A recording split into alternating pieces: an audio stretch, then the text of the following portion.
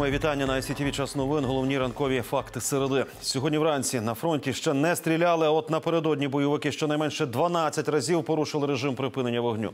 Найгарячіше було біля Старогнатівки, Луганського та Кримського. Водночас представники ОБСЄ констатували завершення процесу розведення військ у Золотому. Усі подробиці на цей ранок розкаже Володимир Михайлов. Петре вітаю. Український фронт залишився без шістьох бліндажів і трьох допоміжних споруд. Такі результати завершення розведення сил на другій ділянці Золота Катеринівка у Луганській області. Вчора півдня моніторгова місія ОБСЄ розпочала верифікацію розведення сил та засобів. Нагадаю, процес розведення в Золотому стартував місяць тому, 29 жовтня. Після виведення військових на місці працювали сапери, піротехніки та рятувальники.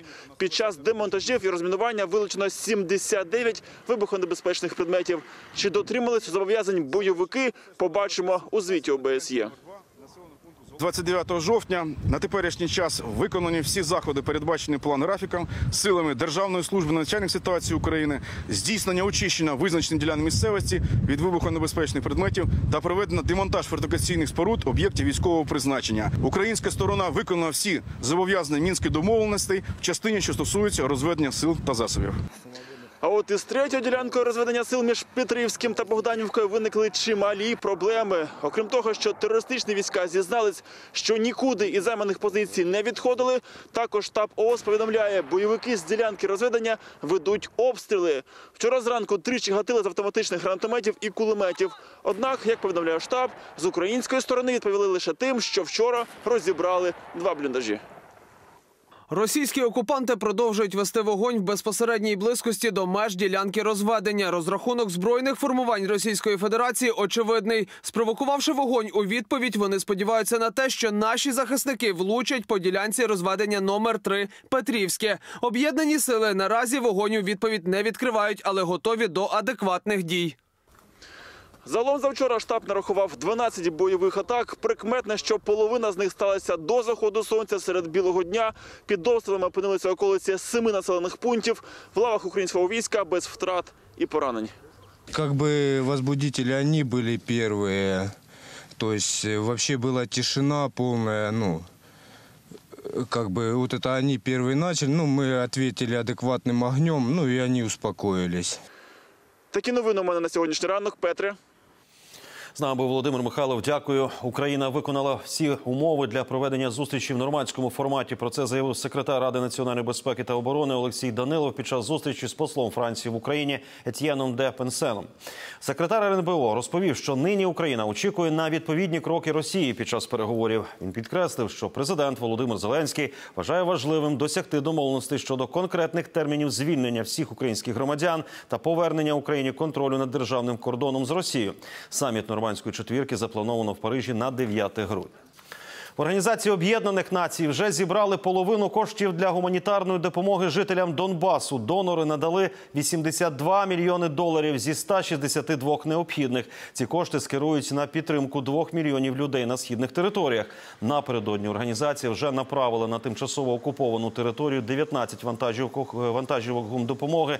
Привезли медичні препарати, гігієнічні набори та будматеріал. Сполучені Штати призупинили надання Україні військової допомоги в той же день, коли американський президент Дональд Трамп поговорив телефоном з українським колегою Володимиром Зеленським. Це було 25 липня.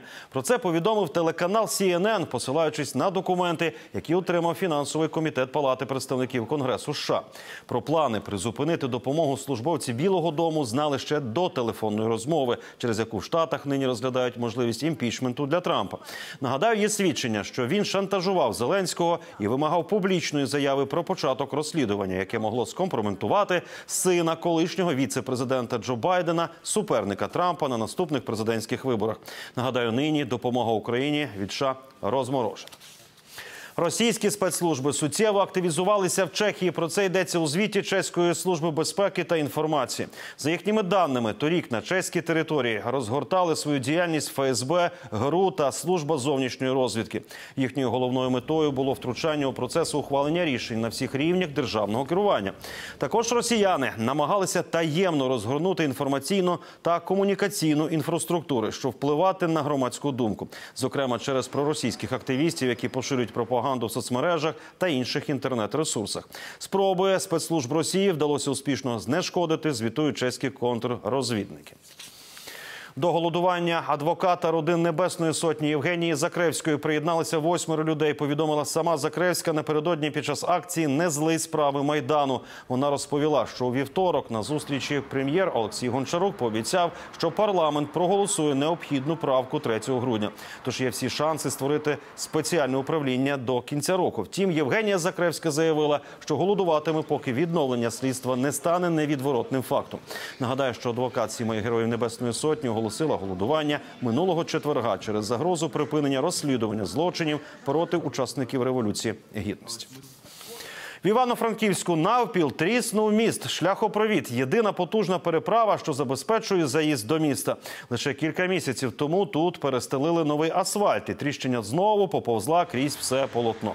Комунальники міст обстежили, кажуть, основна конструкція у нормальному стані. Загрози завалу немає, а тріщини асфальтового покриття сталися на деформаційних швах.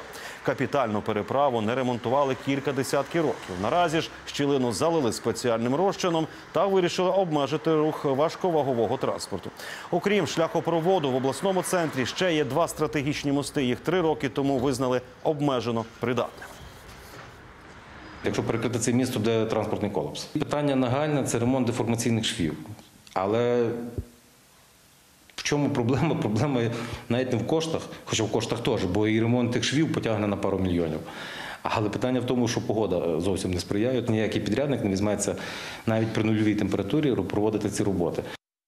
У Карпатах взагалі біда з дорогами та мостами. У Надвірнянському районі треба лагодити 80% шляхів. Остання історія стала показовою. Два кілометри горами пішки несли породіллю і немовля до карети швидкої, адже доїхати до будинку машина не змогла. Щоб привезти жінку в пологовий е, будинок, провели цілу рятувальну операцію.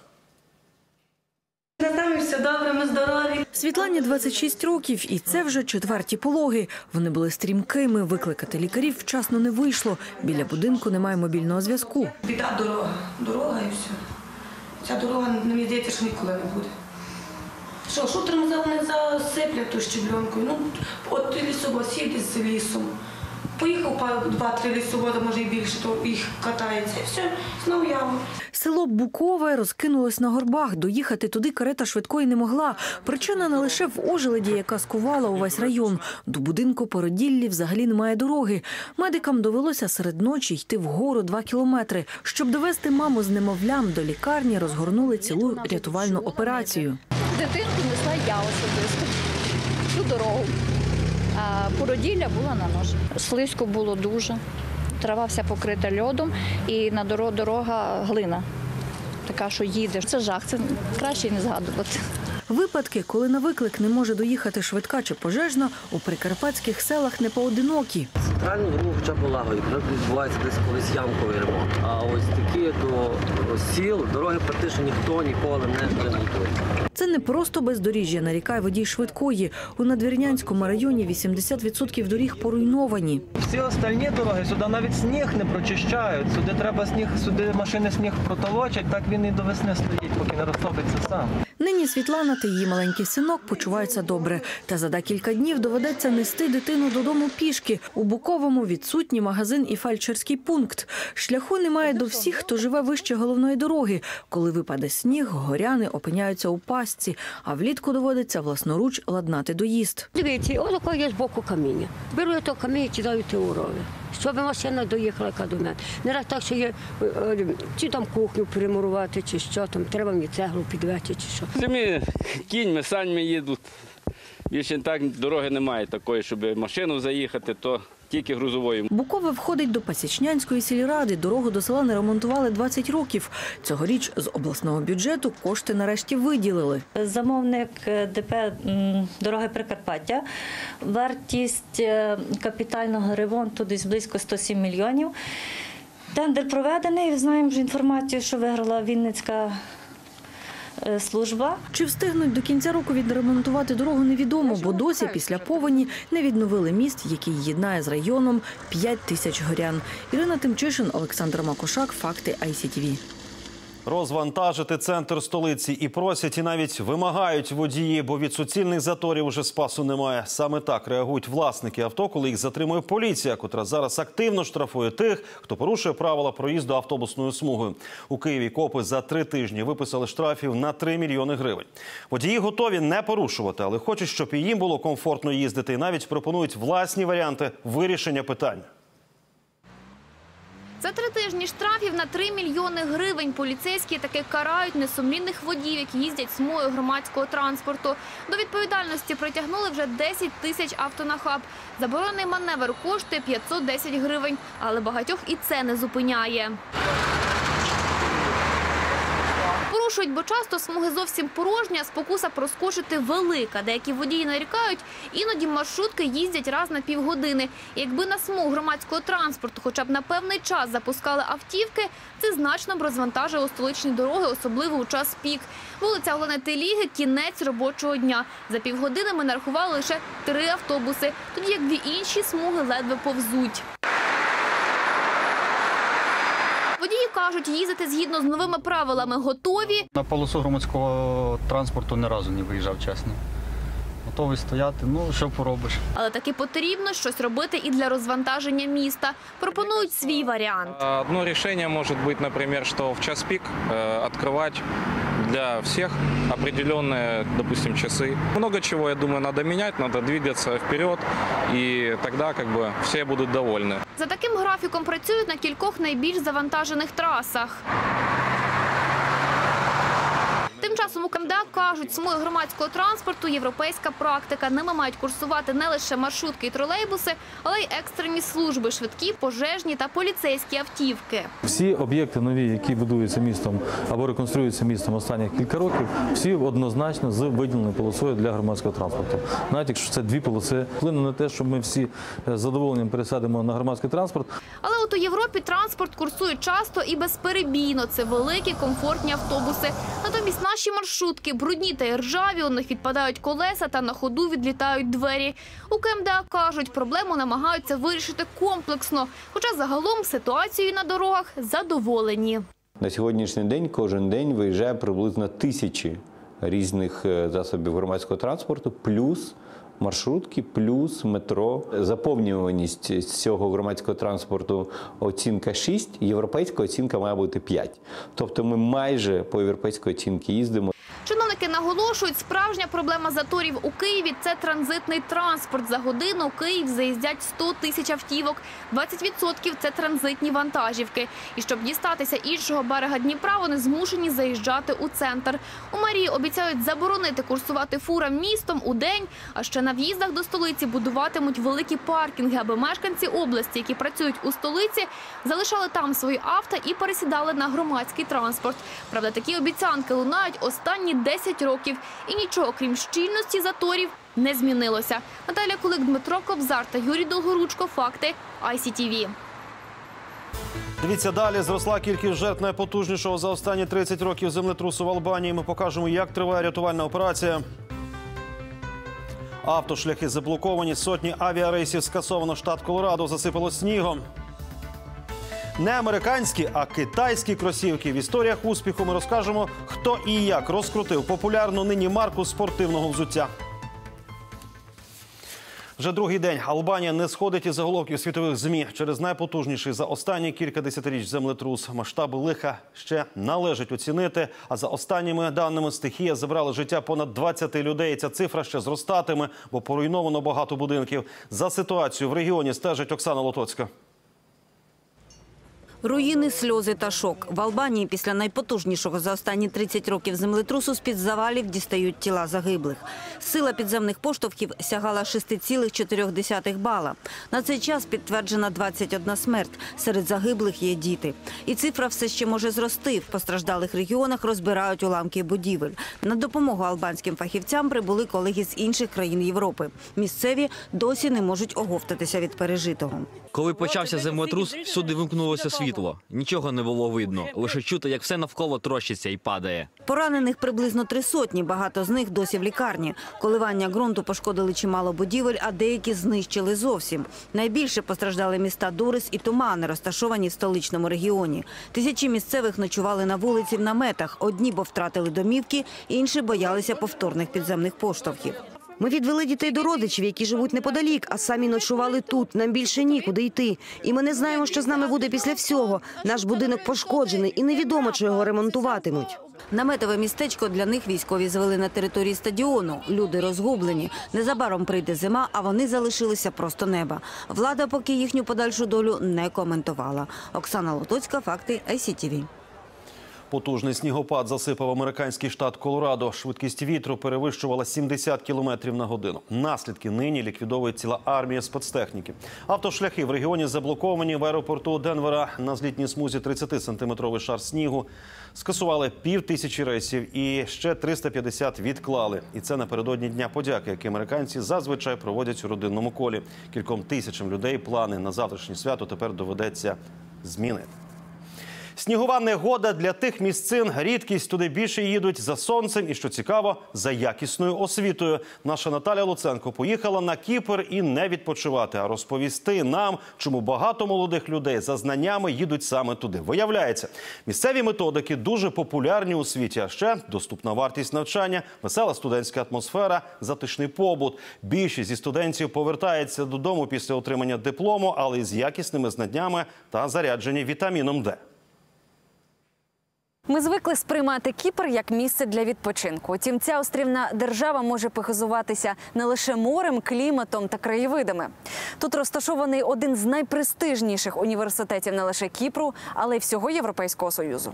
Він державний і вражає масштабами. Перше, що привертає увагу, це бібліотека. В діджиталізації кіпріоти сміливо будують цю гігантську споруду. Проектував її французький архітектор Жан Нувель. Площа читальної зали 12 тисяч квадратних метрів. На полицях понад півмільйона книжок. Для Андреаса ця бібліотека улюблений простір для навчання. Я читаю тут книги про інвестиції, про фінанси, ті, що потрібні для навчання. Я часто читаю з ноутбука, але все одно віддаю перевагу книгам, бо від екрану очі втомлюються. А поки очі не втомилися, у цій залі взагалі можна читати хоч всю ніч. Двері студентам відчинені. Масштабний заклад розвивався не лише за рахунок держави. Щойно країна стала членом Євросоюзу. Більшість грошей кіпріотам дали європарламентарі. Але цей університет навчився збирати кошти по всьому світу. Для розбудови університету ми залучили чимало грошей з Європейського союзу, але допоміг не лише Брюссель, але й Сполучені Штати і дуже багато благодійних фондів у світі. Разом із західними інвестиціями університет Кіпру почав залучати іноземних студентів. Для цього запровадили викладання англійською мовою для більшості спеціальностей. Це привертає міжнародних учнів, а відтак і капітал. Тому серед студентів британці, німці, африканці. Але у закладі переконують, головне не гроші, а мультикультурність університету. За освіту платять і кіпріоти, і закордонні студенти, тому прибуток не головна мета. Університет хоче мати сподеїв різних культур і національностей. Відтак кіпріоти навчаються разом з іноземцями. Наш досвід обміном студентами за програмою Еразмус довів. Це дуже розвиває сподеїв. Саме за цією програмою на острів прибула і Жудіт. Дівчина родом із Конго, живе в Італії. На Кіпрі вчить англійську і мріє заговорити на рівні носія. Коли я лише прилетіла сюди, не могла англійською двох слів сказати нормально. Тепер вже краще, та ще далеко від ідеалу. Тож я планую тут залишитися і ще продовжити навчання. Але рано чи пізно іноземний студент здобуде порцію знань і залишить заклад та острів. А от свою молодь Кіпру поки вдається утримувати від еміграції до Великобританії чи Сполучених Штатів Америки. Їм одразу пропонують вигідну роботу. Майже усі наші університети співпрацюють з компаніями. Студенти починають стажуватися на підприємствах ще під час навчання. Це суттєва перевага, бо після отримання диплому студент йде не на пошуки роботи, а на конкретне підприємство. Свою систему вищої освіти Кіпр продумав до дрібниць, щоб комфортно було і кіпріоту, і іноземцю. Освітні програми затверджують спеціальні місцеві інституції та незаангажовані міжнародні комісії. Навчальні заклади вміють шукати підтримки заході, а тутешні дипломи визнають на міжнародному рівні. З Кіпру Наталя Луценко, Дмитро Матвієнко. Факти ICTV.